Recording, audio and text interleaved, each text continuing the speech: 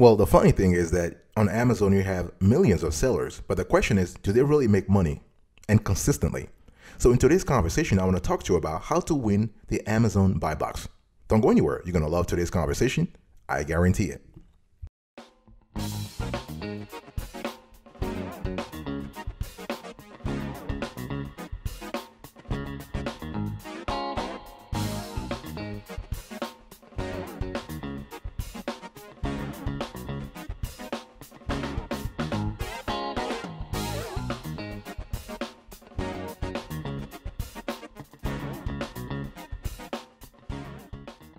Welcome back, folks, to another section of the Awesome S'witty Kiwi Show. How are you today? I hope you are doing fantastic. I'm doing marvelous, if you to ask me.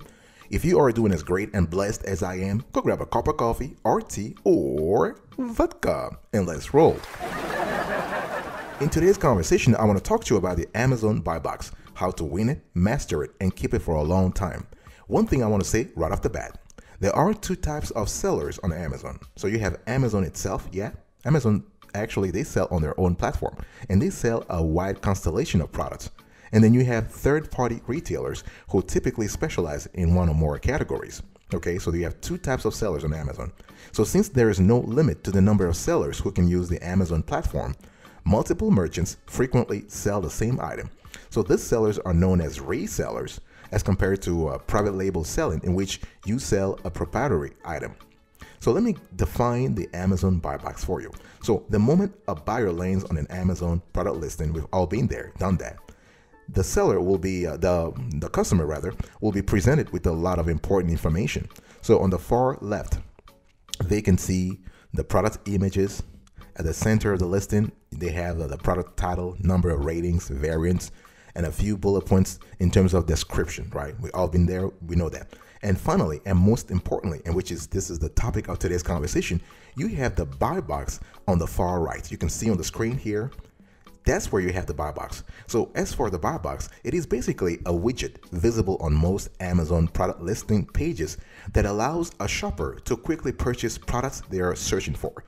And think about it, this is so important because this widget enables shoppers to select the way in which they will purchase the product, whether it is used, new, shipping speeds, and gift options. And those are options you can see. And customers can also adjust the number of items they're buying. And then once they are done with uh, all the variables, they can prepare for checkout by clicking the add to cart button. And this is what is really, really quintessential here. And you want to actually fight for that. This is the buy box. You want to fight for the ability to to have your product listed. At least you don't you don't have to win the buy box for all products, but if you could just win one, one, and that will actually trickle positively on the rest of your store. Okay, so this is the buy box.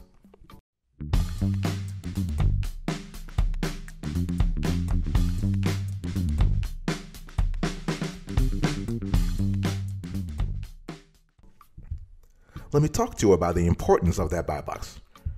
Well, you probably know already, right?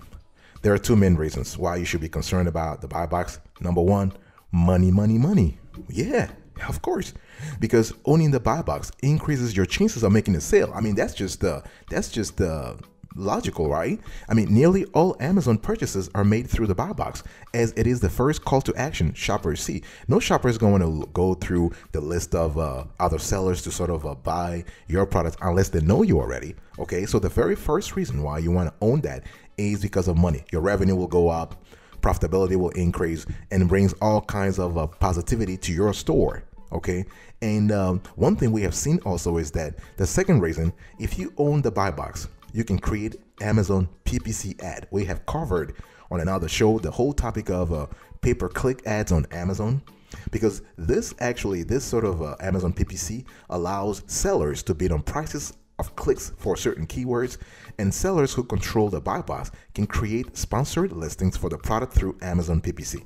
But if you don't own the buy box, even if even if it, it's on your own listing, you cannot create ads for the product. So this is why a lot of um, a lot of sellers are really interested in owning the buy box. Okay, do you get that? And one thing I want to say before moving on to the next level, the next section here is that that buy box is not something static it is dynamic. It changes all the time. You have to understand.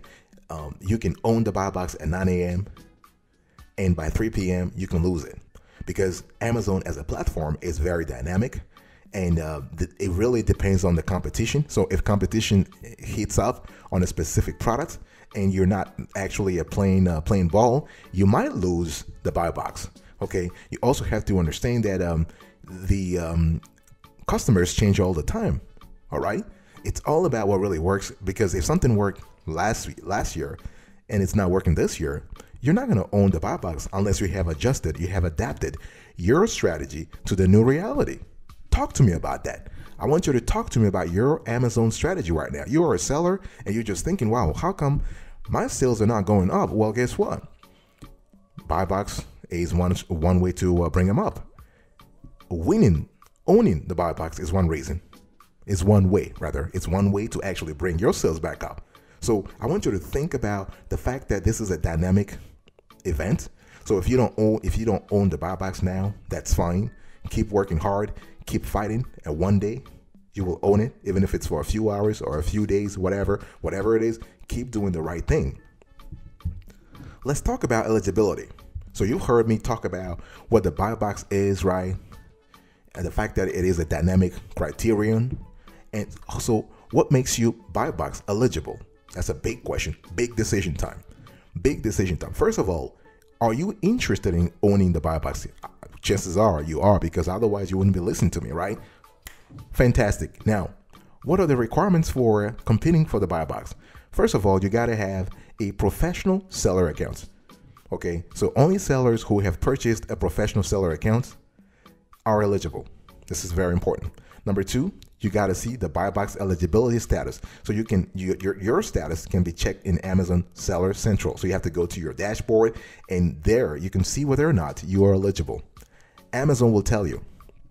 Also, you have to provide new items. So your items must be new. So used items are not eligible for the regular buy box, though they can be sold on a separate buy use box. Okay, so always think about novelty, think about new items, and also availability. This is important availability. So there needs to be inventory on your listed items. Without stock, the buy box will simply rotate to another seller. I mean, the, the funny thing is, people actually um, they have a, gr- a great idea for a product let's say they're doing drop shipping, right? But they haven't checked with the uh, with the drop shipping supplier whether or not they can produce enough items. If you are lucky enough to have your products be popular and very viral, but you can't really keep up with demand, that's a big no-no. So think about availability, very important. And typically, you also want to make sure that your account is healthy. In other words, you have great customer service performance Okay, so you can check that actually. Uh, you have to go to your Seller Central account and you can click on Performance Account Health. This is important. And so there are a few things. There are the essential buy box elements are quality of customer service. Okay, you want to think about novelty of your items. You want to think about inventory management, which translate into availability of your items. Right? You don't want to run out of stock. No, no, you are on Amazon for the long run, so you better think long term here. Don't try to have those strategies where you have uh, a, a short term vision and before you know it, you, you only plan for inventory for three months. Doesn't work, my friend. Three months, no. Obviously, what I'm saying here is you have to adapt it to the kind of product you're selling because we have to think also about cyclicality. You have to think about seasonality. You have to think about target audience. But at the end of the day, you want to have inventory on on hand.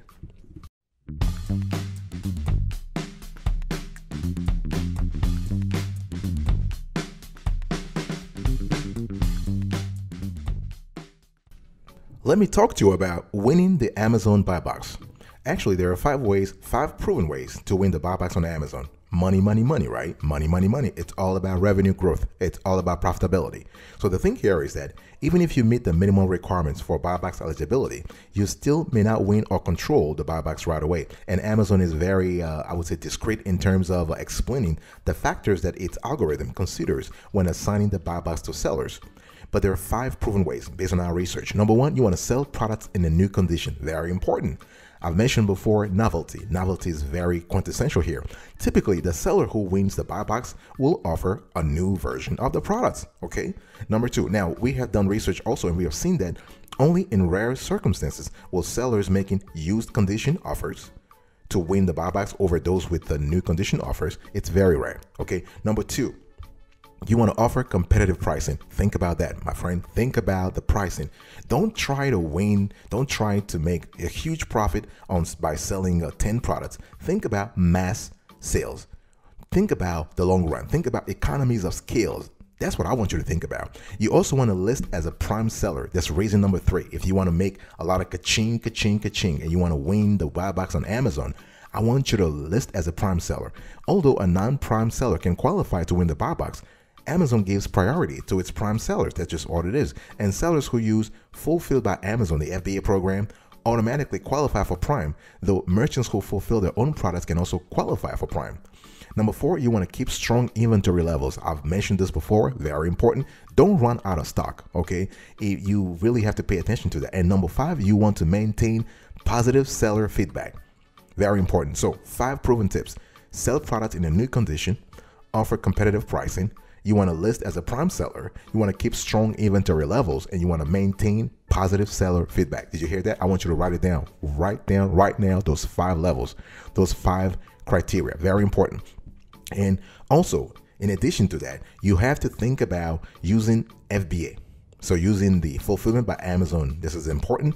This is this is this variable has some of the greatest impact on the buy box when, when it comes to eligibility think about seller fulfilled prime. This is another uh, way to actually uh, win the buy box, um, the buy box on Amazon. Number three, the landed price. So I've talked to you about pricing it before, but you want to think about the landed price. Landed price include shipping. Very important. The lower the landed price, the greater the buy box share. So if you have high performance metrics that your direct competitors don't have. You can also price higher and retain your share of the buy box, but it takes time, it takes strategy. And the fourth thing you want to pay attention to shipping time. This is a very simple metric. I, will grant you that. But the buy box, the algorithm will look at it. They will look at your shipping time, they'll look at your delivery time, all that kind of stuff. So pay attention to those four elements also, in addition to the five proven tips. I'll be right back right after this. Don't go anywhere.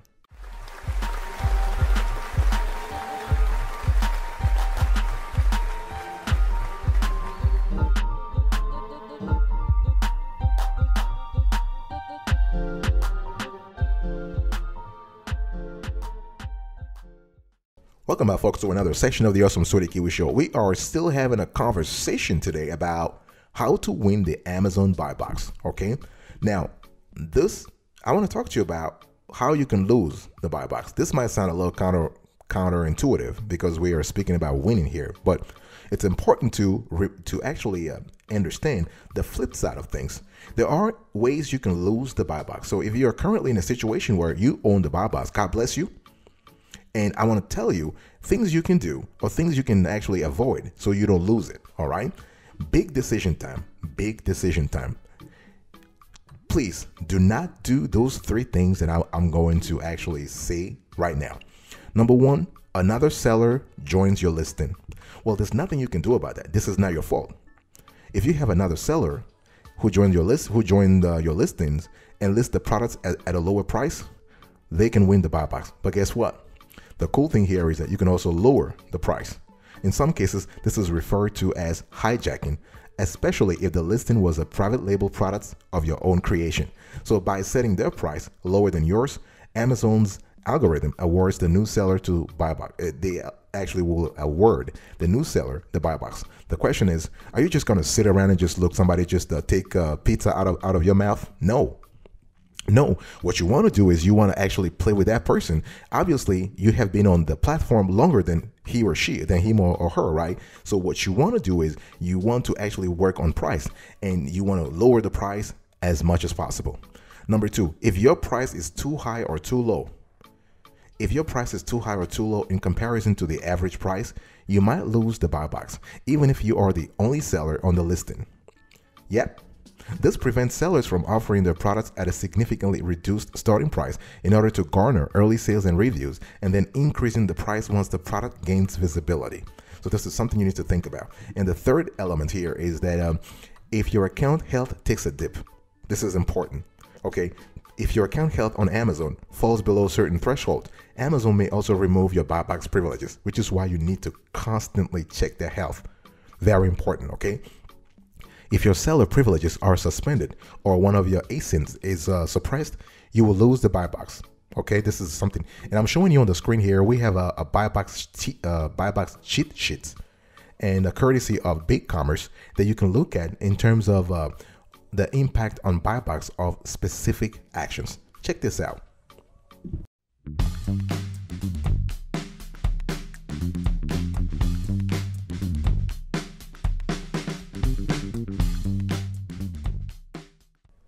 Now I want to talk to you about pricing. Yeah, this is important. There are a lot of things you can do, and uh, how can you track your buy box? First of all, it's important to, I want to say this again money should be an important element when it comes to keeping, when it comes to winning the buy box, keeping it, and maintaining it over a long time. Money, money, money. Okay, there are a lot of ways you can automate the pri- the the pricing on the pricing of your products because uh, the algorithm will pay attention to the pricing to assign the buy box to you. Okay, Amazon has an automate pricing tool, and that price that pricing tool will reprice your products automatically if and when they differ from the current buy box price. That is, another seller lists the product for less than your offer. Okay, so to access the automate pricing tool, you want to go to your Seller Central and click pricing, and you will see automate pricing. One thing I want to say here is that you really need to choose the pricing rule you wish to enact and give it a name. Because the name can be anything you want, right? As long as it helps you remember the purpose of the new pricing rule. You have to be very strategic when it comes to pricing, very important. And based on our research, there are five types of pricing rules you can choose from. Number one, you have competitive buy box. So the rule changes the price of your offer above, at, or below the current buy box offer. This is kind of useful when you have uh, multiple offers on the same product listing. You have a lot of competition, that's what it is. Rule number two competitive lowest price. If you want to offer the lowest possible price, you can set a rule to price your offer below the other listings, regardless of their buy box status. Okay, this is a little aggressive, but if you can actually maintain that, and this is kind of um, this is kind of uh, harmonious with your uh, liquidity situation, with your profitability. That's kind of cool. The third rule is the competitive external price. So you can set your offer to reprice based on non Amazon prices. However, this may cause you to lose the buy box if your price is a lot higher than the current buy box price.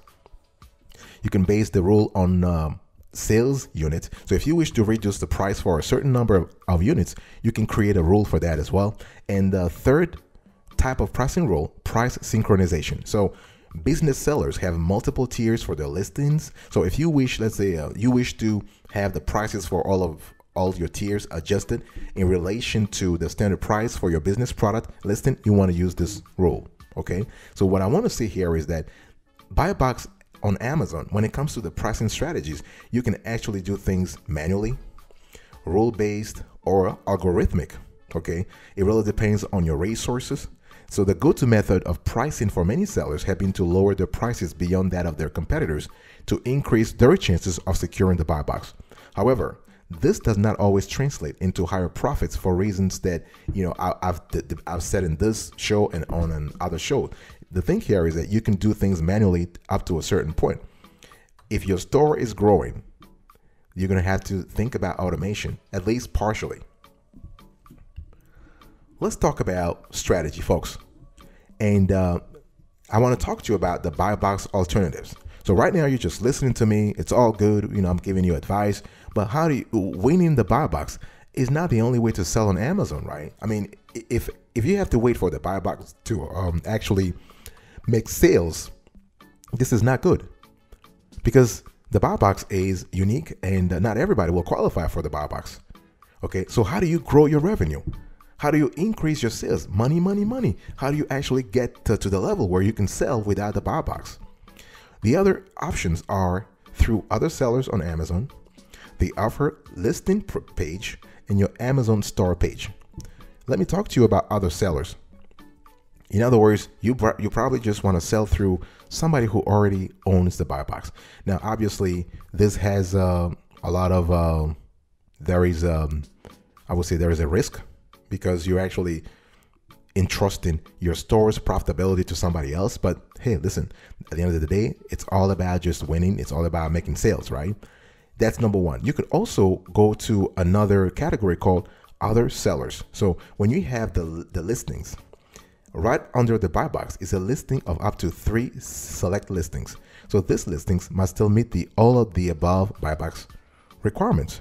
While not as visible as the buy box, these do have a greater chance of conversion than those prices or brands not showing up at all, right? It's all about being there instead of uh, not being there at all. It doesn't matter if you don't win the buy box automatically, just be on the listing page. You can also be on the offer listing page. So this page lists all the sellers who sell a particular product regardless of whether they are buy box eligible. So offerings are displayed in order of a landed price, price plus shipment. And customers can also see other seller variables, including buyer feedback and rebate policies. What I want to tell you here is that to get to that um, to get to that listing page, you want to pay attention to your um, keywords. You want to pay attention to your uh, your SEO on Amazon. You want to pay attention to your description, to your images, all the constellation of things that actually uh, give your store a lot of exposure. And I want to talk to you before finishing today about the the importance of Buybox Mobile. Okay, did you know that more customers than ever are shopping on Amazon via mobile? Oh, yeah. Oh, yeah. According to research, Amazon people are actually, um, Amazon has, has said that more than 85%, 85%, I want you to write it down, 85% of their customers worldwide shopped via mobile purchasing at extremely high frequencies. Think about it. So in mobile, the buy box takes on heightened importance, right? That's because unlike on a desktop or laptop, the mobile site features the buy box directly under the product image. So something you need to think about, okay? So at the end of the day, if you care about, let's say, um, selling at all on Amazon, you want to make sure that your your product is actually optimized also for mobile. Very important. Okay.